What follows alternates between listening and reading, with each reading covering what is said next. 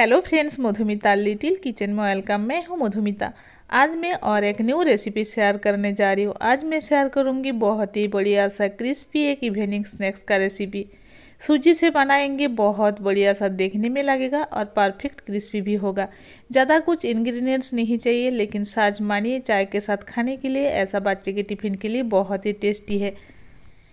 ये वाला स्नैक्स बनाने के लिए ज़्यादा कुछ इंग्रेडिएंट्स नहीं चाहिए, लेकिन बहुत ही क्रिस्पी बनता है। खास तरीके से बना के दिखाएँगे ताकि क्रिस्पी के साथ साथ ये बहुत ही टेस्टी भी बनेगा। तो चलिए फिर ये बढ़िया सा क्रिस्पी स्नैक्स बनाना शुरू करते हैं। तो ये सूजी से बना हुआ स्नैक्स बनाने के लिए सबसे पहले मैंने कढ़ाई में डाल दिया आधा चम्मच जैसा ऑयल एक ही साथ में मैंने डालूँगी आधा चम्मच जैसा राई के दाने और डालूँगी थोड़ा सा जीरा। ज़्यादा कुछ मसाला ज़रूरत नहीं होगा तो थोड़ा सा राई के दाने के साथ मैंने डाल दिया जीरा। यहाँ पे कुछ मसाला लिया है, जैसे मैं ले रही हूँ।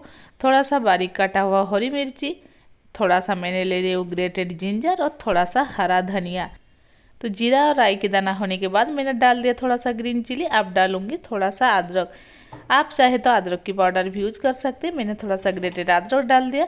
थोड़ा सा मिर्ची और अदरक को भून लेते हैं। अब मैंने डालूँगी बारीक कटा हुआ फ्रेश हरा धनिया। इस मसाला में मैंने प्याज, लहसुन वगैरह यूज़ नहीं कर रही हूँ। बहुत ही सिंपल तरीका है बनाना। तो ये हरा धनिया डालने के बाद ज़्यादा देर तक तो इसको पकाएँगे नहीं। मैंने यहाँ पे यूज़ कर रही हूँ एक कप जैसा रवा। कोई भी रवा यानी सूजी यूज़ कर सकते हैं। ये मीडियम वाला जैसा हम लोग उपमा वगैरह बनाते इस तरीके का मैंने एक कप भर के रवा ले लिया। अभी इस रवा को भी थोड़ी देर तक भून लेते हैं। थोड़ी देर तक रावा को भूनने से क्या होगा? इसका टेस्ट परफेक्ट आएगा। एक ही साथ में मैंने थोड़ा सा नमक डाल दिया और थोड़ी देर तक भून लेते हैं। अभी थोड़ा थोड़ा पानी डाल के बढ़िया से इसको पकाना है। ज़्यादा पानी नहीं डालना है। मैंने थोड़ा थोड़ा करके पानी डाल के इसको पका रही हूँ ताकि इसका जो बाइंडिंग है परफेक्ट हो जाएगा। ये जो सूजी बहुत जल्दी पानी सूख लेता है। तो ये देखिए, बढ़िया सा डो जैसा बन जाएगा। तो देखिए, मैंने इसको पका रही हूँ। पानी भी कितना बढ़िया सा परफेक्ट ये सोख कर लिया। और जो रहा है, वो भी अच्छी तरह से फूल गया। अब मैंने डो को एक प्लेट में निकाल लिया और थोड़ी देर तक तो इसको ठंडा होने के लिए रख देते हैं। ठंडा होने के बाद इसको बनाएँगे तो बहुत बढ़िया सा बनेगा। तो मैंने इसके साथ थोड़ा सा मैंने डाल रही हूँ मैश किया उबला हुआ आलू। इसमें क्या होगा, ये वाला जो स्नैक्स बनेगा, वो बहुत ही परफेक्ट क्रिस्पी बनेगा। तो इसीलिए थोड़ा सा मैश किया, यानी उबला हुआ आलू ज़रूर मिक्स करना है सूजी के साथ। तो देखिए आप किस तरीके से बनाना है, मैंने थोड़ा सा इस तरीके से डो ले लिया। अभी मैंने इस डो को चाकली के ऊपर रख देती हूँ और इसको थोड़ा सा लाटना है।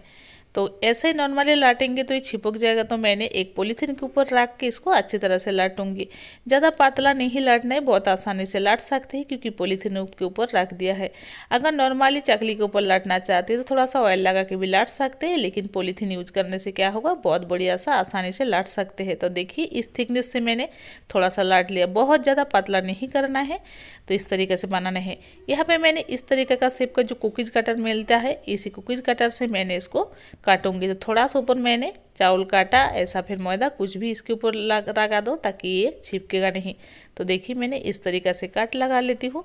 इसमें क्या होगा, इसका जो डिज़ाइन बनेगा बहुत ही सुंदर देखने में लगेगा। आप कोई भी शेप में बना सकते हैं, नॉर्मली कोई कोटोरी या ग्लास की हेल्प से थोड़ा सा नॉर्मल गोल गोल भी बना सकते हैं। तो देखिए थोड़ा सा मैंने मैदा लगा लिया इस, इसके ऊपर।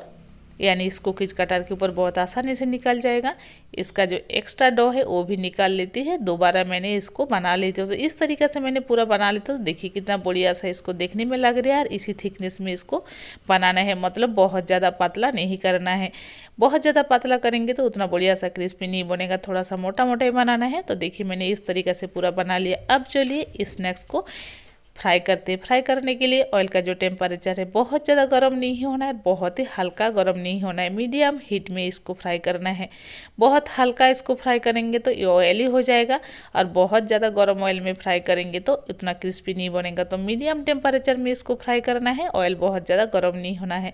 तो देखिए कितना बढ़िया सा ये फूल रहे हैं। बहुत ही परफेक्ट अगर क्रिस्पी बनाना है तो थोड़ा सा टाइम लेकर इसको क्रिस्पी करना है, यानी थोड़ा देर तक इसको फ्राई करना है। गैस का हीट मीडियम रख के स्नैक्स को फ्राई करना है तो धीरे धीरे इसका बढ़िया सा कलर भी चेंज होते जाएगा। तो देखिए धीरे धीरे इसका कलर भी चेंज हो रहा है। सच मानिए, बहुत ही क्रिस्पी बनता है। ये वाला सूजी से बना हुआ स्नैक्स परफेक्ट इसका कलर भी आ गया और बहुत बढ़िया सा ये क्रिस्पी भी बन गया। अब मैंने इसको निकाल लेती हूँ। इसी तरीके से पूरा जो बना के रखी थी, इसको फ्राई करके निकाल लेते हैं। मैं दिखाऊँगी कितना क्रिस्पी तो देखिए, कितना बढ़िया सा देखने में लग रहे हैं ना। ऊपर से कोई भी चटनी के साथ, ऐसा फिर चाय के साथ ये वाला स्नैक्स खा सकते हैं। मैंने तोड़ के भी दिखाऊँगी कितना क्रिस्पी पहले देखिए, कितना बढ़िया सा फूले फूले क्रिस्पी बनी है। सुन के पता लग रहा है ना कितना क्रिस्पी है। चलिए अब तोड़ के भी दिखाती हूँ। तो देखिए अंदर का टेक्सचर भी कितना परफेक्ट है और कितना क्रिस्पी बनी है। थोड़ा सा आलू ज़रूर इसके साथ सूजी के साथ मिलाना है तभी तो परफेक्ट ही क्रिस्पी बनेगा। सो फ्रेंड्स आई होप आपको वीडियो पसंद आया। अगर वीडियो पसंद आया तो ज़रूर मेरे चैनल को सब्सक्राइब कीजिए। ऐसा ही हर दिन न्यू न्यू रेसिपी देखने के लिए और बेल बटन को प्रेस करना ना भूले ताकि नोटिफिकेशन सबसे पहले आपको मिल जाए। ऐसा ही हर दिन न्यू न्यू रेसिपी देखने के लिए। सब लोग अच्छे रहे, खुश रहे बाय बाय